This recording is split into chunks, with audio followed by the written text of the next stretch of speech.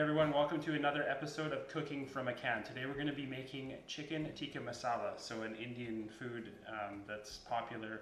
Uh, it's got a nice sauce for uh, dipping your naan bread in. I did do a video on how to make naan bread. I'll have that pop up right here. So you can go uh, make your own homemade naan and then uh, you can use it for this recipe to sop up all that sauce.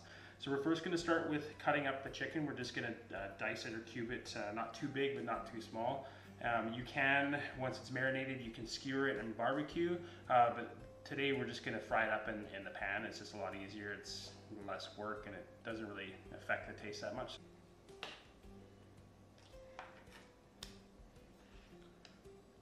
So again, you just wanna chop it up into uh, cubes. Not, like I said, not too big, not too small. You want it to tenderize in the marinade. This is one of our favorites here. Jaden's been asking us for the last couple months to make it again, so I was like, sure, we'll make it and we'll film it. Show you guys how to make it as well. Super easy and uh, lots of flavor.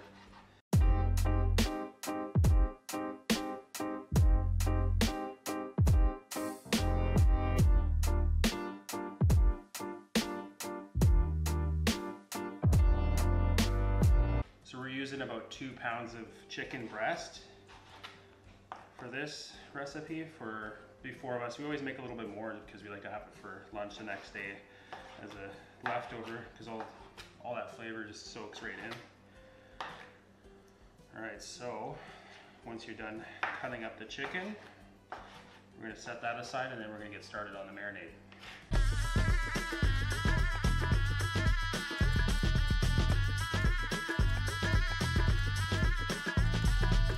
Marinade, we're gonna start with about one tablespoon of uh, fresh ginger. We're gonna cut that up. Again, a rough measurement.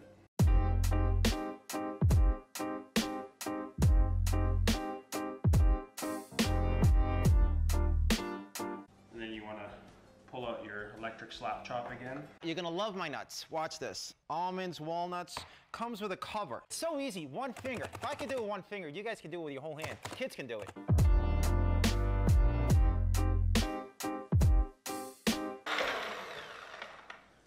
Get it all nicely minced.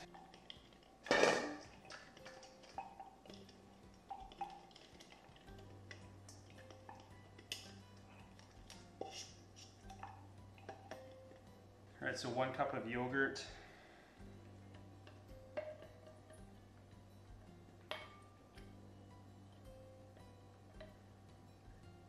Just plain yogurt. You can use uh, Greek yogurt if you can find it. Uh, a little harder to find here in Costa Rica, so we just use a plain normal yogurt. One tablespoon of lemon juice. Two teaspoons of cumin two teaspoons of cayenne. So yeah, a little bit of spice in this, uh, a little bit of heat, not too bad, because yogurt tones that down. And the bread, when you're sopping it up, that's gonna help uh, alleviate that heat, but it's not much. And then one teaspoon of cinnamon as well. Two teaspoons of just black pepper. And a little bit of salt.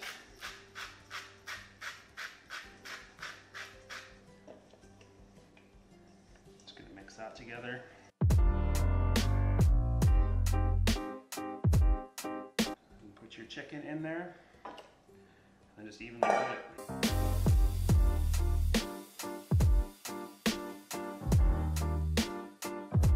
And there you go. So now your marinade is done. You're gonna let that marinade in the fridge for at least an hour. Uh, we're gonna do it for a few hours just because we're gonna be making this for dinner tonight. Um, you can even make it up for the day before, throw it in a Ziploc bag and just let it marinate overnight. It's just gonna be a little more tender, a little more flavor. Um, but yeah, minimum an hour. Um, that's really all it needs because of the spices that are in it. Yeah, we're gonna do that now. All right, so now that the chicken, myself, and Shayna have marinated for three hours, as she's having wine over there, uh, we're gonna actually start cooking the meat. So we're just gonna um, put a little bit of oil in a pan. We're gonna cook this up again. Like I said, you can skewer it and barbecue it, but it's just as easy to fry it up in a frying pan and you're not really gonna notice a difference in flavor. We've done it both ways and it really didn't change any difference as far as the texture and things like that. So yeah, let's get cooking this. So I'm just gonna cook it in a heavy bottom skillet.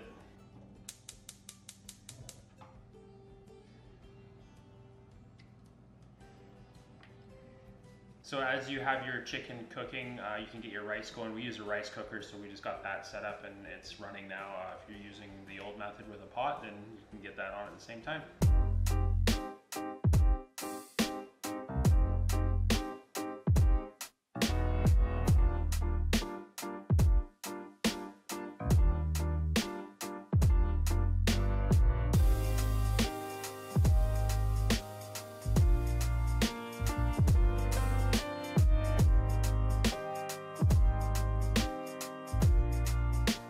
Now the chicken's done, if you're doing it in the pan and not on the grill, you're gonna notice there's a lot of liquid, so you're gonna wanna strain that out, so we're gonna do that right now.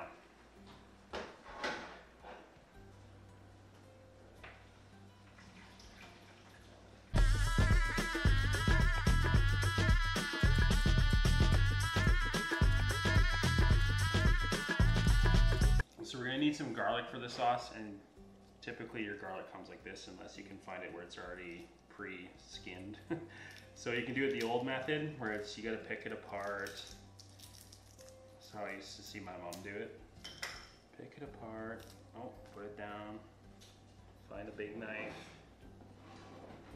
Not to bug you mom, but this is how you did it. And then you do this and you squish it, and then you peel it. Sometimes it comes off, sometimes it doesn't. That's crap. Let's do it the easy way. So you guys seen this trick before where you take two bowls or you can use a jar with a lid? Get this out of the way. Dump your clothes in. Throw the lid on.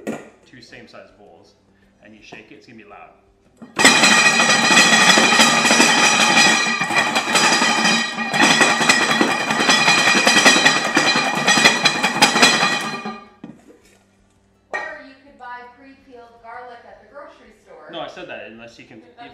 If you can't find it, this is the easier way of doing it. But see, like all of the skins have come off now. It's so much easier. Look at that. There's your lesson for the day. So now that we've got our garlic peeled, we're gonna. I, we like garlic, so we always put a little bit more. It's usually the recipe I'm gonna have down below is for like one serving. This I'm tripling it because we really like it saucy. So I'm gonna put more garlic in. But if you read below, this is the ingredient list and proportions for a single uh, serve for like a family of four. Um, but yeah, I'm just we're just gonna throw a bunch of garlic here. Toss those aside. We're gonna get our electric slap chop. I like that. Yeah. and we're gonna mince this up.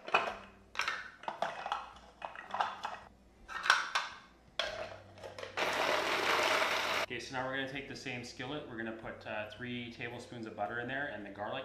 And then if you do want it spicy, you can add like jalapeno or Thai chili or some sort of pepper that you want. Uh, we're not gonna do that because the kids are eating it, but yeah, we're gonna start frying up the garlic and get the sauce going.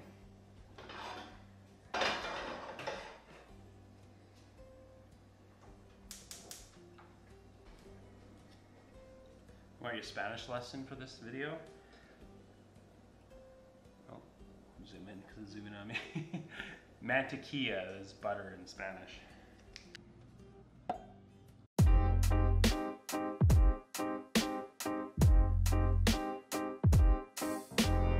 So now that your butter is melted, you're gonna add in your garlic.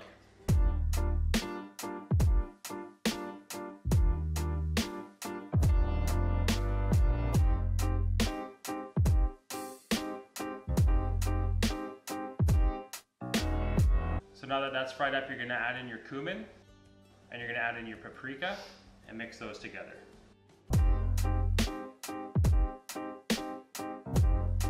Now you're gonna wanna add in some salt.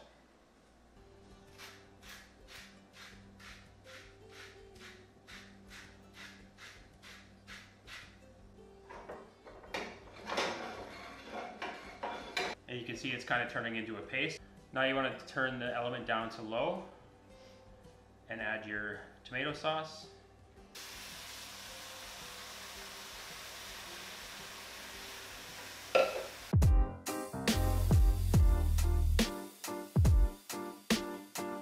And your heavy cream. Stir that together we're gonna let it simmer now for about 20 minutes just to thicken up a bit.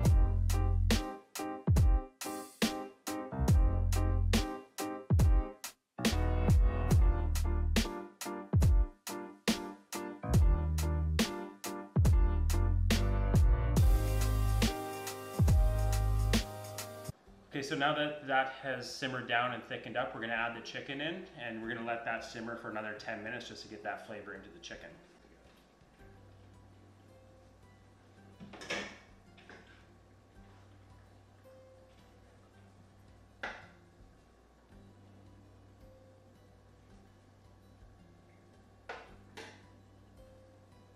You can really smell the uh, cinnamon and the cumin coming through now that that's all thickened up. One thing, don't forget to taste your food and then season it accordingly.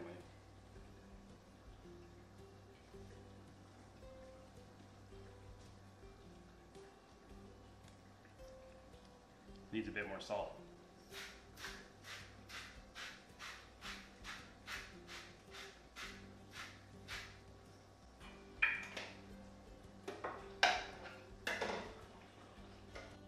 You just want to put a little bit of rice in the bottom and then top it up with your chicken and your sauce. And then you're going to want to uh, pair that with some of the naan bread that you made from our previous video. Let's give it a little cut.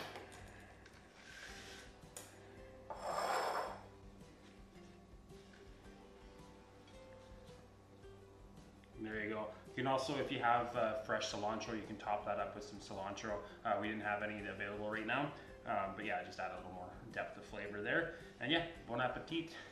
or as they say in Costa Rica, what do they say? Huh? Buen provecho. They say buen provecho here in Costa Rica. Provecho. Still learning the Spanish. Alright, so if you liked the video, uh, leave a thumbs up. If you haven't yet, hit the subscribe button. Hope you enjoy this uh, Indian food recipe. Uh, it's one of our favorites here. Jaden again was asking for the last like month or whatever, two months. When are we gonna have tikka masala? So I was like, well, we might as well make it and film it and share it with you guys so you can make it at home. Super easy recipe. Does take a little bit of time, but totally worth it. Um, yeah, we're gonna enjoy this now. Uh, yeah, we'll see you in the next video. Ciao. Okay. Oh, I'm gonna turn that off. And plug the mic in. Jeez.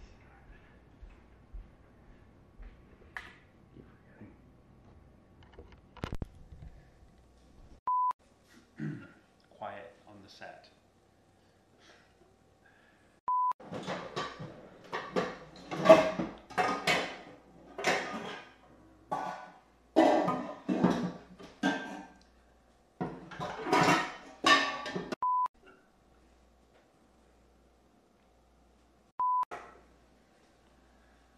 You're also going to want to add in some salt, so about uh, a teaspoon. Again, look at the uh, ingredients below, and you'll see what the ingredient list is. Alright, so now that the chicken has cooked, uh, if you're doing it in the pan, you're going to find there's a lot of liquid, so we're going to want to strain that in a hat. Yeah. If I can figure out how it works. What's going on?